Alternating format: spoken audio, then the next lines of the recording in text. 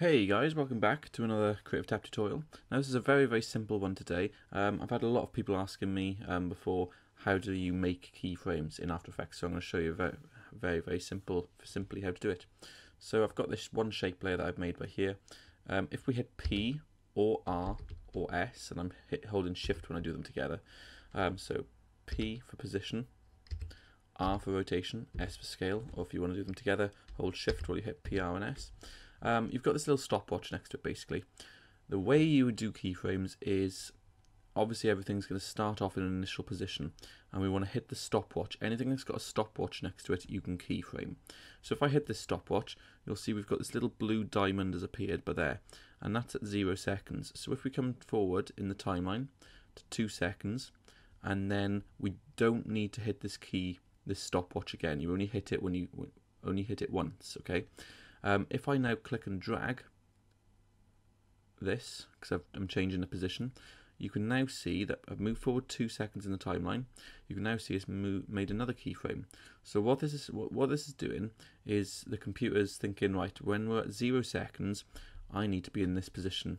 And by the time we get here, because I clicked and dragged across to two seconds and then I moved it, by the time it gets to here, it's like, right, I need to be in this position. So in between, I'm just going to tween in, in between in between. Um, I'm just going to move in between these two. Okay.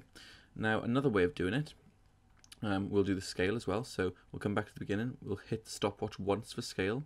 Let's come to two seconds in time.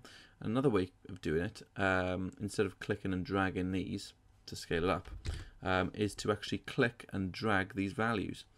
So like so. So let's make it smaller. Okay. So then between these, it's going to go from 100% scale down to, what have we got it on? 39% scale. And the same for rotation. Now, actually, you won't be able to see it on here. So what I'm going to do is I'm just going to create a rectangle.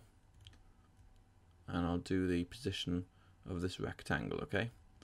Um, no, the rotation, sorry. So I'll come to R. I'll come back to the beginning. I'll hit the stopwatch. I'll come to two seconds and then I'll click and drag. Wrong one. Ah, I've been doing it to the wrong one. Great. Been doing it to the circle.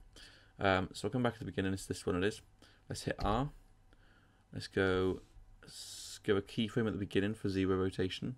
Let's come to two seconds and let's click and drag. Now this value by here you see we've got two. This first this first zero is number of revolutions. So if I take this to one it looks like nothing's happened but if I go between actually it does one whole revolution okay?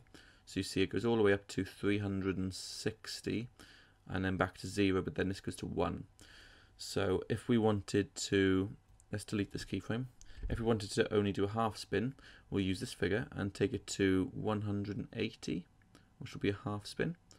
So you can see just by clicking and dragging the value that's that's what happens. Let's let's make this um, let's hit T to make this transparent and I'm not going to keyframe this one just so you can see the circle behind it.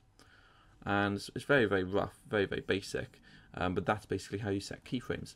Now one last thing to note. I've got this solid layer by here. I went layer new solid and then I put a fractal noise on there and you can see all of these things have got keyframes. So if I turn this layer on we've got this. So I can animate for example um, the evolution the evolution is just how um, kind of the animation of it. So if I were to play without anything, it's just going to be just this basic cloud layer. But if I come back to zero, hit the stopwatch, go to two seconds, and change this value up to something like that.